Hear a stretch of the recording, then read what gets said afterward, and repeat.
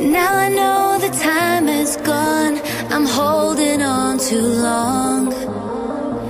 You were the sunlight in my day.